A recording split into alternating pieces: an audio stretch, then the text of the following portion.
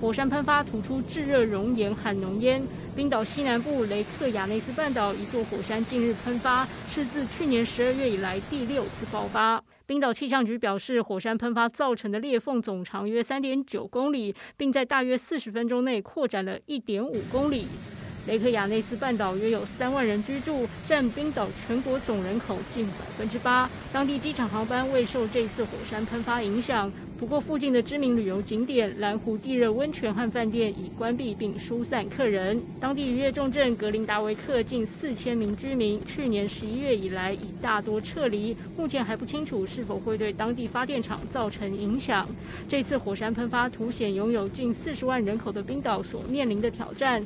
当地地质系统在休眠八百年后，近年再度活跃起来。研究显示，岩浆聚集在地下，引发首都雷克雅维克以南地区。有新火山活动，科学家警告，雷克雅内斯半岛可能会在数十年甚至数百年内面临反复火山喷发的情况。中央社综合报道。